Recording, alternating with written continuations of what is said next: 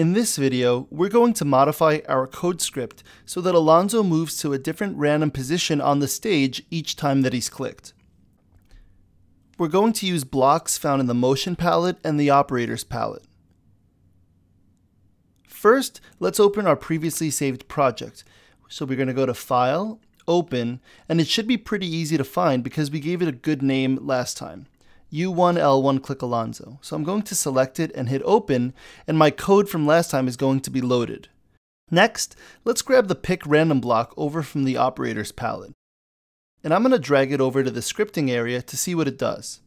If I start clicking it, we see that it starts reporting back values. So now it says 10, 10, 1, 3, 5, 1, 2, so it looks like it's spitting back or reporting back values between 1 and 10. Notice that the pick random block has a different type of shape than the other two blocks. Blocks that have this oval shape are known as reporter blocks. So reporter blocks report back a value so that other blocks can use those values. Let's go over to the motion palette and bring over a go-to XY block.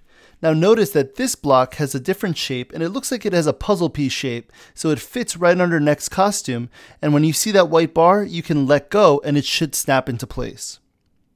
Now go to XY has two inputs of its own. Right now they're set to 0, 0. So when I'm clicked, when Alonzo is clicked, he always goes to 0, 0.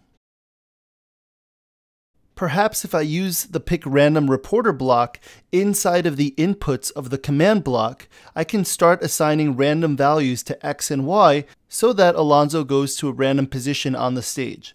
So I'm going to drag over the pick random block into the X input.